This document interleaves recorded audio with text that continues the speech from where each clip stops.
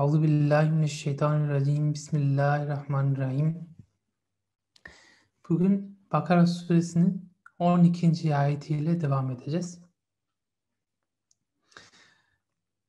Ve izâ qîle lehum lâ tufsidû fil ardi qâlû innemâ nahnu muslihûn.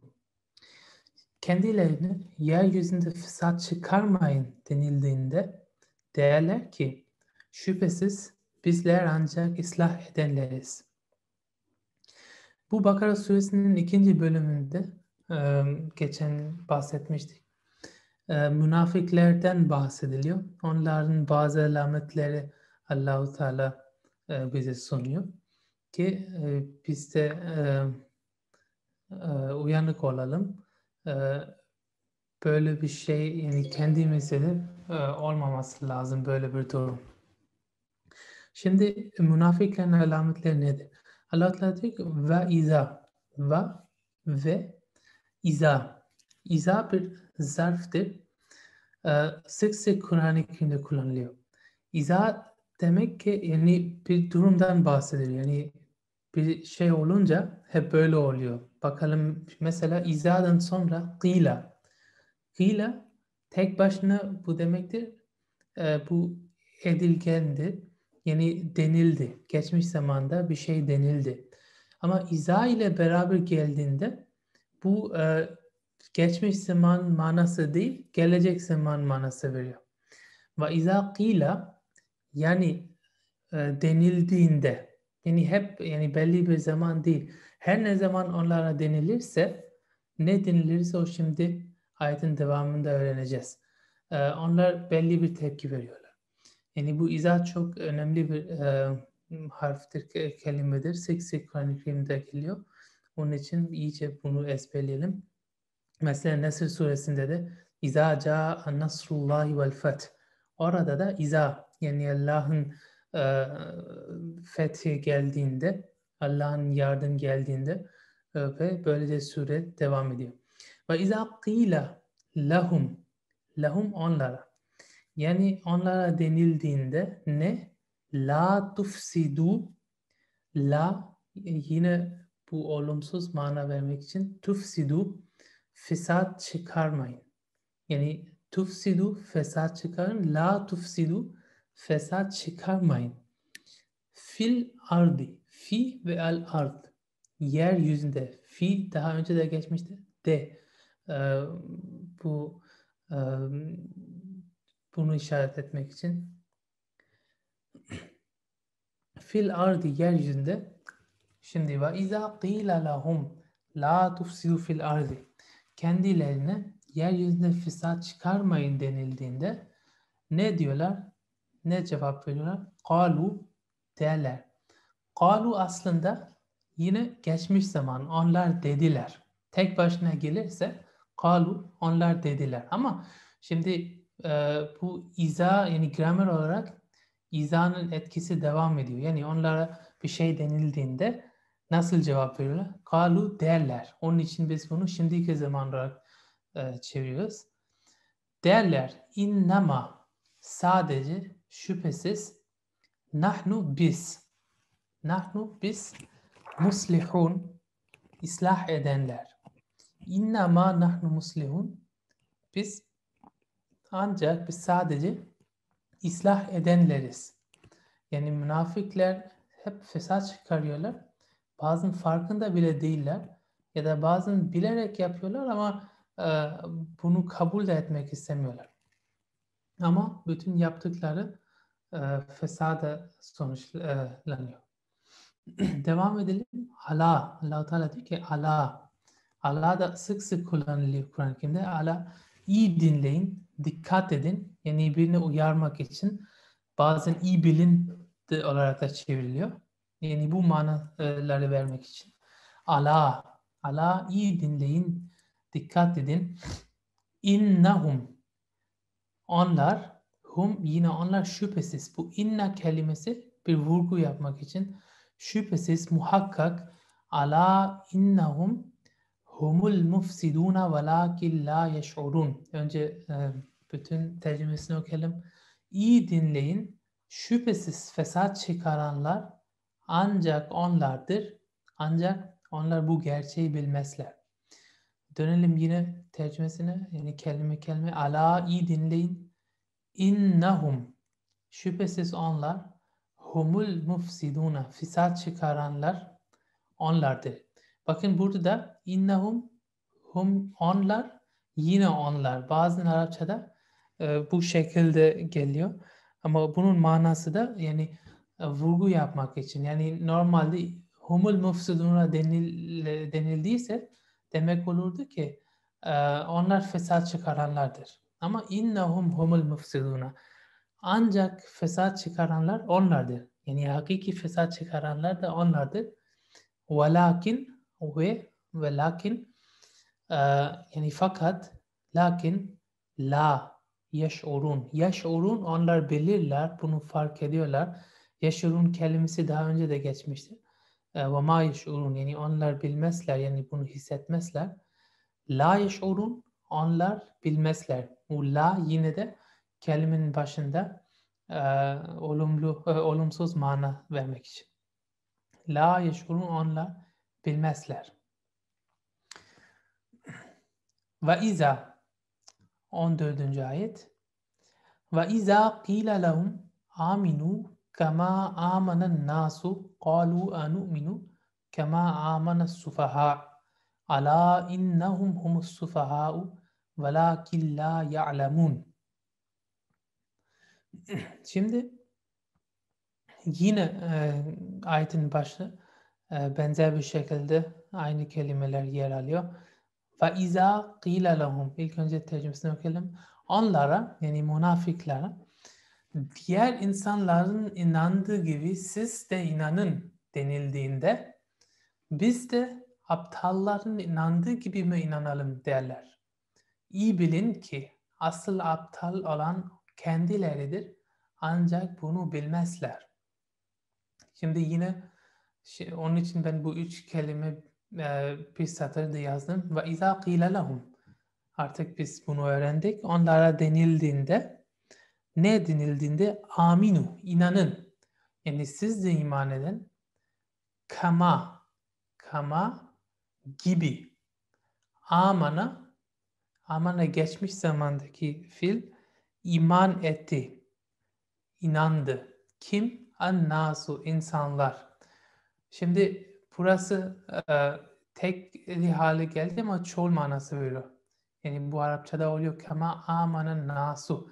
Yani diğer insanların inandığı gibi siz de inanın denildiğinde ne derler? Kalu yani kelime yani kelime itibariyle dediler ama iza çünkü başında geldiği için e, derler ah nu'minu Burada aslında dikkat edersin bu A hamza oluyor. A böyle bir soru e, için kullanılıyor. Yani bir tek e, yani bu harf A. A ile e, bir cümle başlarsa demek ki bir soru var. Burada Türkçe'de m gibi. Yani bir e, soru için bir kelime için m ise yani bunu manası bilmezseniz de biliyorsunuz ki burada bir e, soru söz konusu. Anu'minu. Şimdi derler ki anu'minu acaba inanalım mı? Biz de inanalım mı? Biz inanalım mı? Kama kama yine gibi amana iman etti as-sufaha'u aptallar. Aptallar. Sufaha aptalın çoğu. Aptallar. Şimdi düz tercümesi yapalım. Anu'minu kama amana sufaha. Biz de aptalların inandığı gibi mi inanalım? Yani şöyle cevap ediyorlar. Yani e, küçümsemiyorlar müminleri. Diyorlar ki bunlar boş bir iş, peşindeler. E, ve onlarla dalga geçiyorlar. Ama allah Teala ne diyor? Cevap ediyor. Cevap veriyor. Ala iyi bilin, iyi dinleyin. İnnahum ki şüphesiz onlar hum onlar inna şüphesiz muhakkak ala innahum iyi bilin ki onlar humus sufaha onlar aptaldır. Şimdi ala innahum humus sufaha iyi bilin ki aptallar ancak onlardır. Velakin, lakin la ya'lemun. Onlar bilmezler. Ee, daha önce yaşurun kelimesini öğrendik. Onun tercümesi de e, bilmezler yaptık. Ee, Arapçada bazı yani benzer kelime kullanılıyor ama e, ufak tefek farklar var ama tercüme yaparken ikisini bilmezler olarak çeviriyoruz. Yaşurun daha e, sanki içten bir his oluyor. Mesela siz bir şey hissediyorsunuz. Ona yaşurun, yaşuru denilir. Bu ya ilim kelimesi ise mesela buradan bu kelimesinden ilim kelimesini e, çıkarabiliyorsunuz. Aslında bunun kökü aynıdır. İlim. Ya'lemun onlar e, ilim sahibidirler. Onlar biliyorlar. La ya'lemun bilmezler. Bu daha böyle e, dokunabilecek bir şeyden ilim edinmek için kullanılıyor. Ya da bir tecrübe edinarak bir şey, e, somut bir şey dayanarak bir ilim edinirse, bilgi edinirse onun için e, ilim kelimesi kullanıyor. La yeşur. Her neyse e, bu ufak bir fark işte. E, devam edelim. 15. ayet. Ve izâ qîle ve izâ laqul lezîne amanu qalu amanna. Ve izâ khalav ilâ şeyatînihim qalu inna ma'akum innema nahnu mustahzi'un.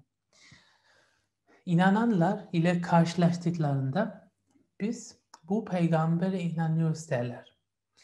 İleri gelen şeytanlar ile baş başa kaldıklarında kaldıklarında ise şüphesiz biz sizinle birlikteyiz. Onlarla ancak alay ediyorduk derler.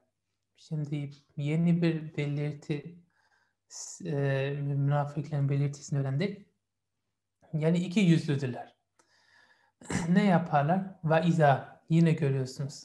Vaiza yani bir şey olunca şimdi iki e, ayet yani e, iki e, demin geçtiği iki ayette iza qila ile başladılar bu ayet.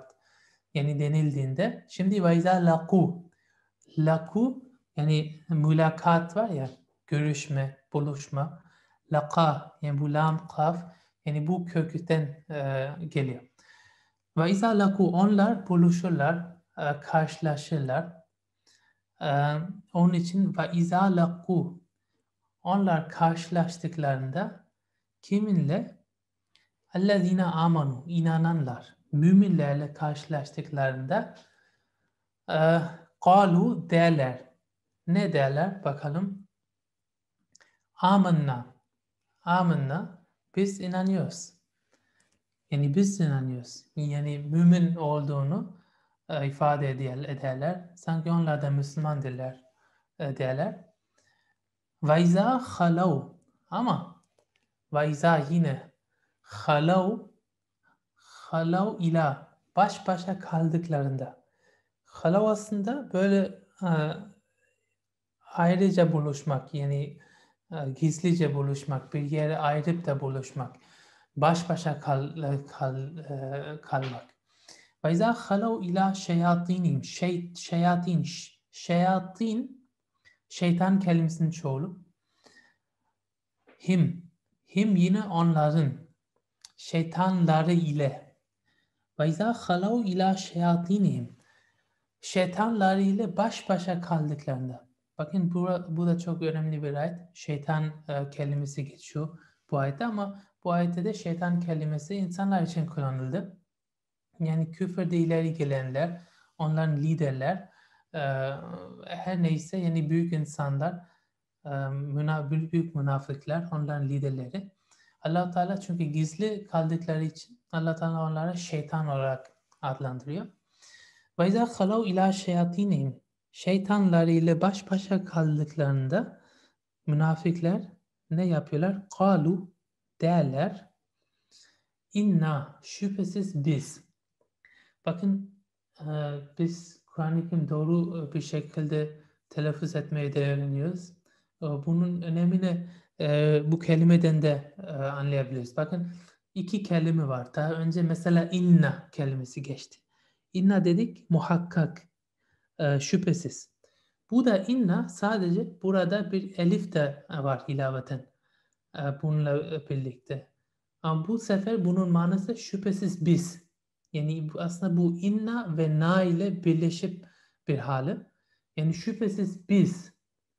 Ama mesela şimdi biz bunu doğru bir şekilde okumuyorsak, e, okumazsak Kur'an-ı Kerim okurken o zaman inna ve inna kelimesi arasında bir fark etmemiş oluyoruz. Ve bu manasında da büyük bir fark yaratır. Onun için Arapçada bu e, doğru telaffuz etmek ya da gerektiğinde bir kelime uzatmak ya da kısa tutmakta e, bu tutmanın da bir faydası var, bir manası var. Oraya da dikkat edelim. İnna şüphesiz biz ma'akum.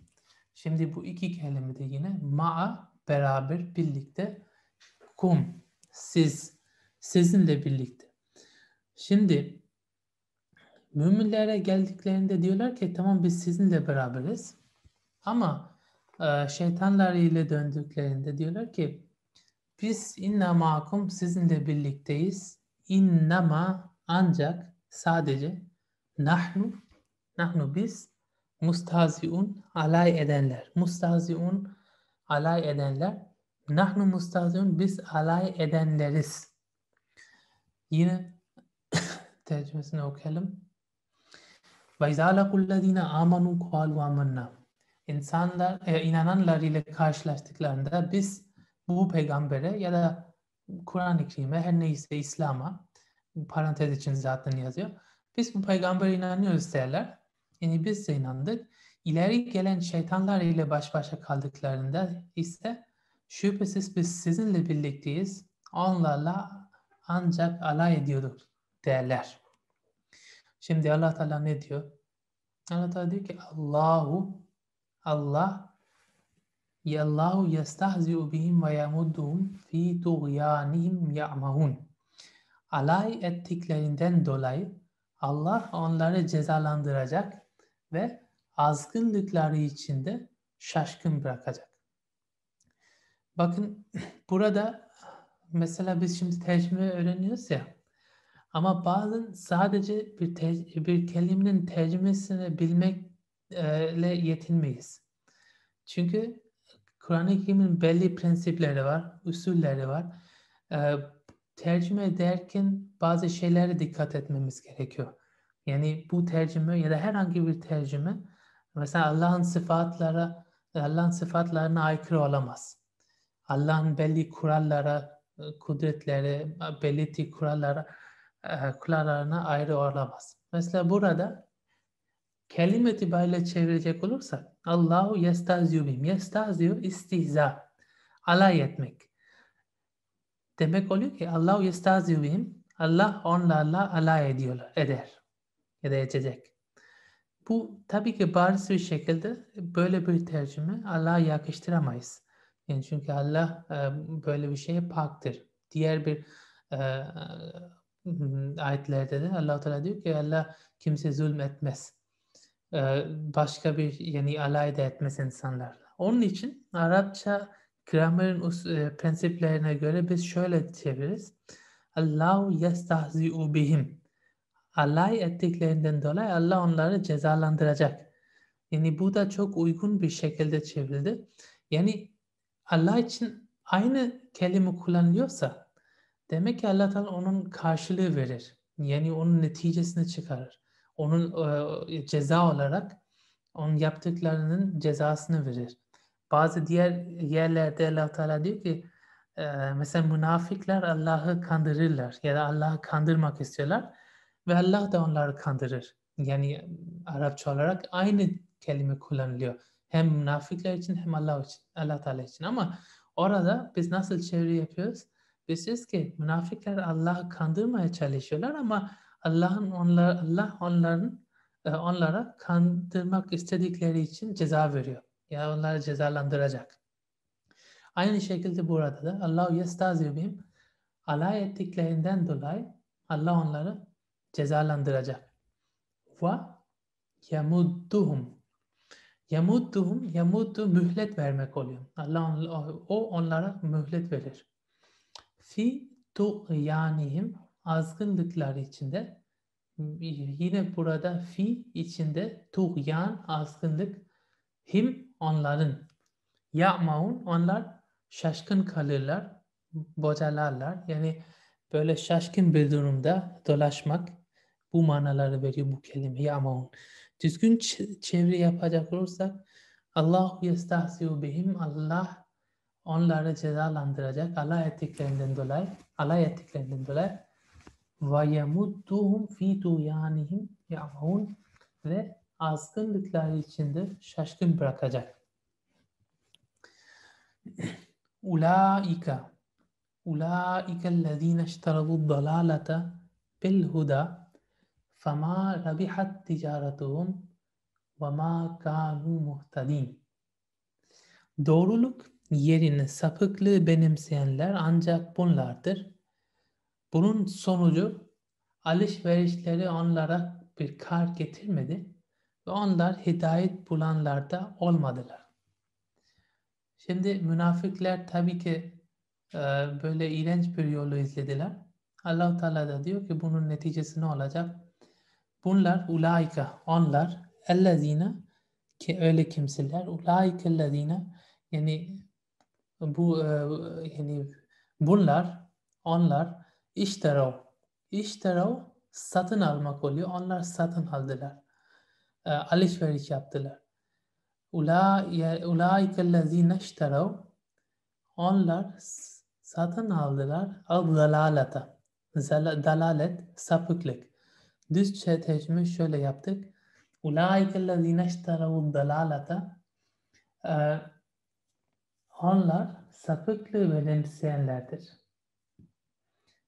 Bilhuda doğruluk yerine. Burası bir kelime var ve el huda. Hidayet Burada binin manası yerine oldu.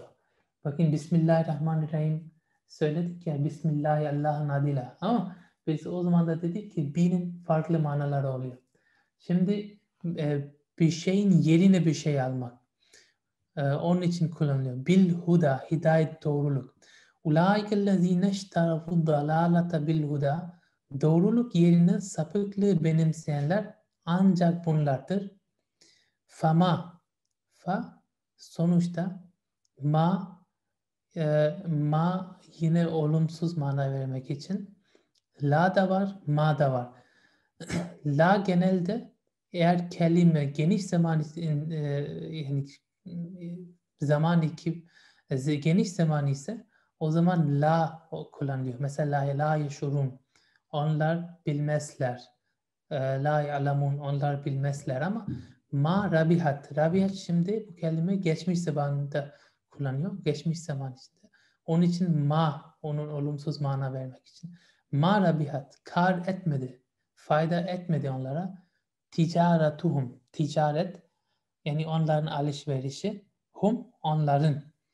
Onların ticareti bu alışverişi yani e, hidayet, hidayeti satıp delalet almışlar, satın almışlar bu alışverişleri onlara hiç kar etmedi, fayda etmediler. Ve ma kanu ve ma değil yani, yani olmadılar kanu onlar idiler. Onlar değildiler. Muhtadin hidayet bulanlar. Doğru yol üzerinde olanlar.